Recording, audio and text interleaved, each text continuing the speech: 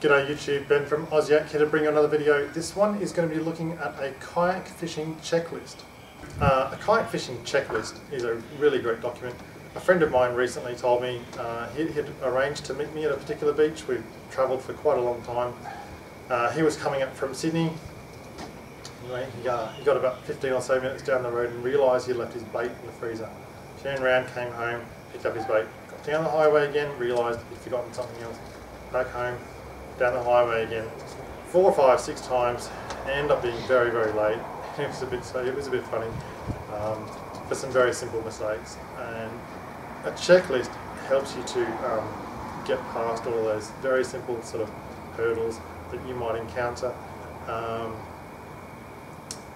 and as, especially I tend to find it very useful for me because I go fishing very, very early in the morning. I'll leave at half past three, four o'clock in the morning sometimes to get out just before dawn uh, I tend to find is a really good time for the kind of fish that I chase, especially if I need to cover some kilometres before I actually get to my fishing zone.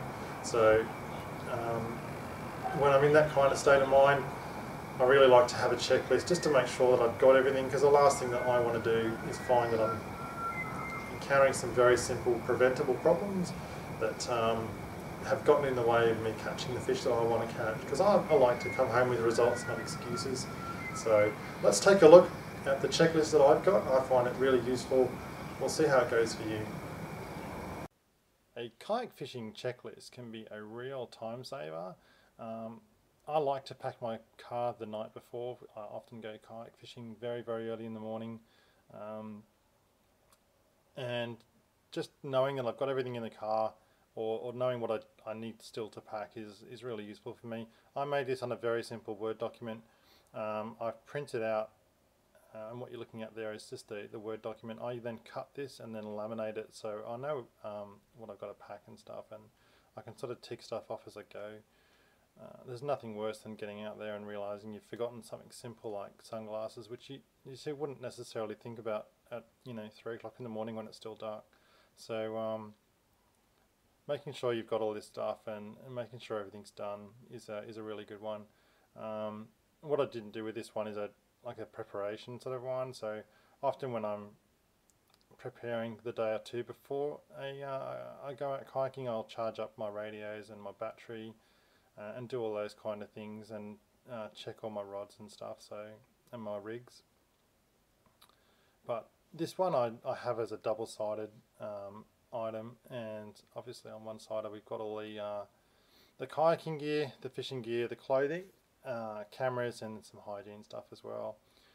Uh, and as I say, it's just really, really, really good just to have a, a bit of an idea of, of what's um, pertinent to me and make sure I've got it in the car so I'm not going to um, get halfway down the highway and suddenly think, uh, paddle, that's what I need, paddle, I don't have a paddle.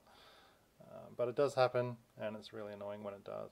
On the reverse side of this I've got um, emergency contact details and also details of um, my kids' school and uh, the babysitter and stuff like that, which I find useful. So if something was to go wrong at home and I get a miss or I get a missed call or something like that, then uh, I can follow up that pretty easily. Um, and those are just really good pieces of information to have. So um, look, there we go, guys. Um, here are some ideas I think more than anything uh, for you and I hope you uh, can put this into uh, good use and I hope you can um, uh, find it useful. Um, let me know how it goes for you. Please uh, leave a comment and um, see you in my next video. Thank you. Bye. Well, thanks for watching.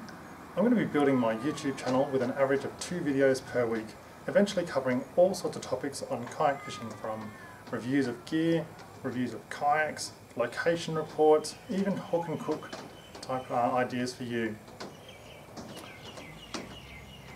I'm looking forward to any comments or suggestions you might have. Please leave a comment below or you can message me directly through YouTube. If you liked the video, please like it. Please feel free to share this video on other social media such as Facebook or uh, Twitter. And don't forget to subscribe. Thanks for watching. Until next time, tight lines and stay safe.